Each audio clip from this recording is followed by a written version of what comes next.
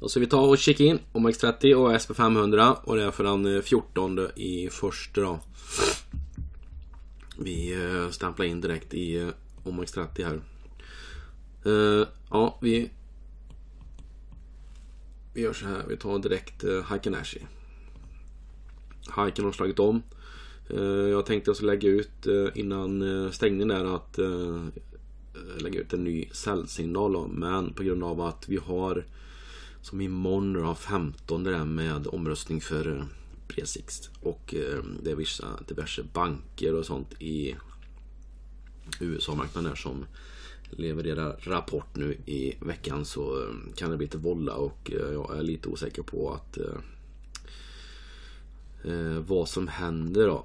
Men eh, jag har i alla fall gått ur långa positionen i SP500.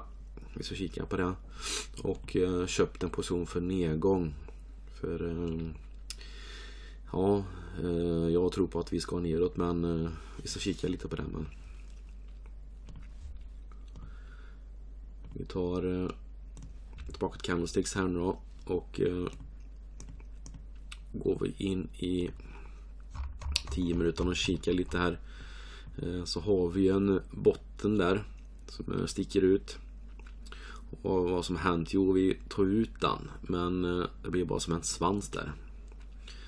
Eh, och när hajken slår om så eh, ser det ju lite bra ut för nedgång då men det är lite med sån här sidledsmanöver. Jag tänker direkt på att det här är en 3-4. Sen är ju frågan om det är A, B, C, D eller vad. Ja. Eh,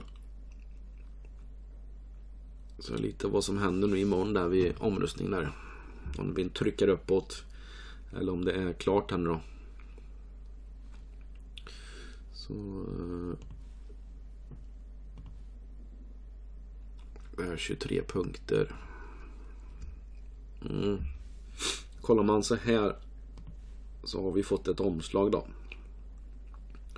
Men eh, det har varit lite mer eh, najsigare om det varit lite mer Alltså en större röd candlesticks som bryter gärna en timmes eh, grafen då. Men eh, som här ser man är bara en liten puttesvans ner, pjup, och sen var det bra. Mm, alltså det blir väldigt intressant i veckan vad som händer. Så...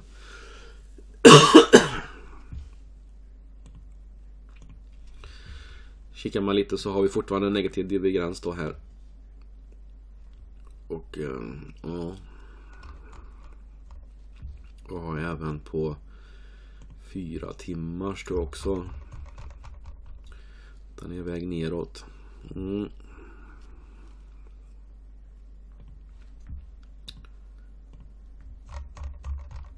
Ta daglig upplösning. Sen är det den nivån där. Ja, jag tänker lite högt nu bara men.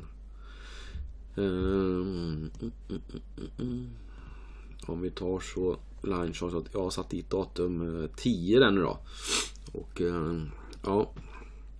Det kan vara så att datum 12 var ju nu i, i helgen att det blir reaktion. Eh, att det steg så inför det då. Så, mm. Vi kan kika på Ultimate. Eh, fick också in 10 där så har det vänt ner då. Men eh, vi får se. Det kanske blir så att det blir att gå ner så. Sen det rappar ner sen då. Eller droppar ner som heter.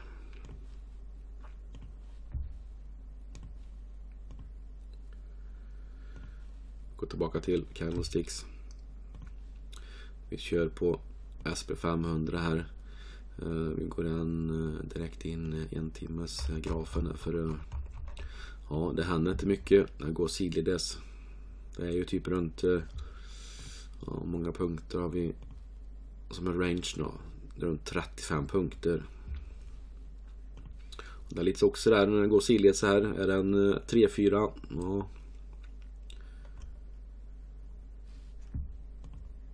Det märks att de kommer, eller ja, marknaden går och väntar nu på vad som händer nu i veckan. Och I alla fall imorgon då. Mm. Sen är det ju den här eh, säljningen som går härifrån till eh, dit då. Om vi bryter med den med en stor röd candlesticks. Eh, kan jag tänka mig att det är klart för nedgång så då, men Eh, jag skulle gärna vilja ha alltså tre touchningar och sen att det bryter eh, längre upp till exempel då. Eh, ja. Så kan det säkert bli att det går ner och bryter ner. Gör en urskakning då. Och sen att det vänder på uppåt. Ja, ja, ja, ja. Men eh, sen är frågan här. En, två, tre. En B-våg. Så vi kikar in lite här också med negativ divergens hela tiden. Jag tror att även på fyra timmars... Nej. Den kan vi ta bort där.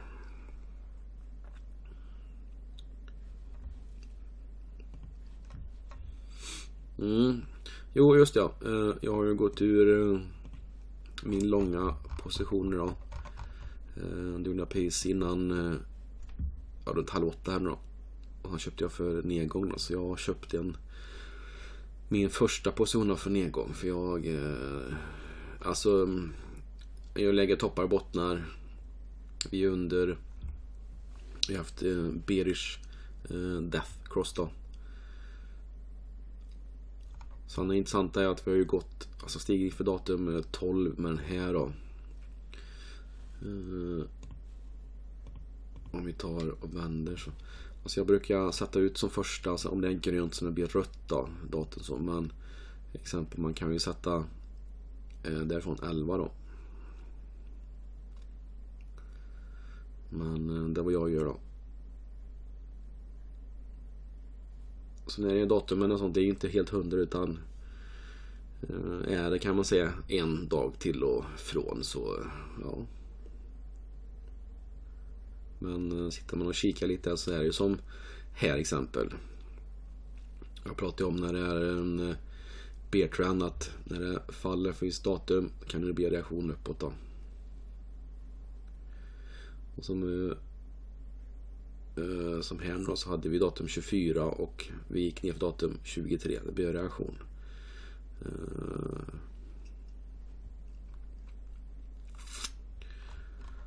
Mm, mm, mm, mm, mm, Här är också ett exempel. vilket datum 25. Steg på. Här kan man också se 20, 20, 25, 25. Vad hände? Oh, det blev reaktion. Så...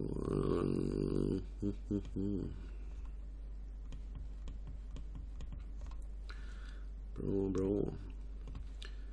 Kolla in hajken. Mm. Det blir väldigt intressant vad som händer i imorgon där så. Yes. Ja, jag nöjer mig så. Så hörs vi i veckan istället så. Yes, ha det så bra. Hej svejs.